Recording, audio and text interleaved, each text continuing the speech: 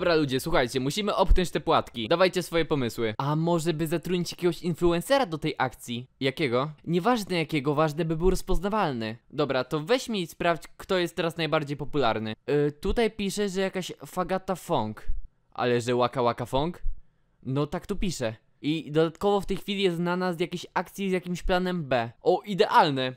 To my zrobimy coś podobnego i napiszemy plan ABCD na dobre śniadanie. Zawsze mamy dobre pomysły, nie to co te przygłupy z Shopee, gdzie nie umiał zrobić dobrej reklamy swojego produktu. Szefie, pamięta pan, że mnie przeniesiono? No pamiętam. Nie mówiłem nigdy panu, ale pracowałem w marketingu Shopee. Spoko, Antek, mi się tam twój plan podoba. Publikuj. Dobrze, szefie. Ona oszukała stewarda! robić z nią reklamę? Oszukała Jak stewarda! możecie robić z taką osobą Oszukała reklamę? stewarda! Nie.